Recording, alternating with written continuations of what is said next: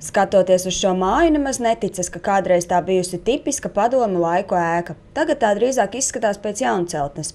Šādas kardinālas izmaiņas ar dzīvojumu ēku notikušas pateicoties rekonstrukcijai, kas veikta siltināšanas projekta ietvaros. Galvenais mērķis - izdevuma ekonomija tika sasniegts.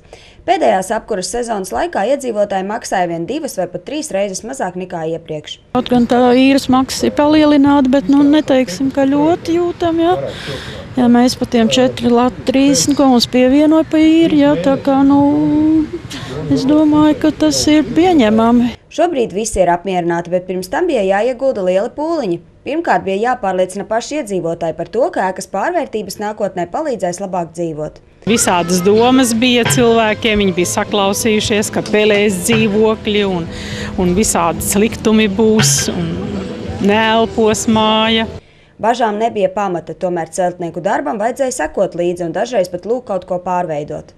Ēka izskatās pievilcīga ne tikai no ārienes, jo remonts tika veikts arī kāpņu telpās. Tagad ir smuka. Dikt klāt. Visiem patīk, kas iet garām, visiem patīk šita māja. Ekonomikas ministrija, vides aizsardzības un reģionālās attīstības ministrija, kā arī žurnāls Latvijas būvniecība izziņoja konkursu par energoefektīvāko ēku Latvijā. No sabiedriskajām ēkām Ventspilī godalgotas vietas ieguva Ventspils 3. vidusskola un pirmsskolas izglītības iestāde Bitīte.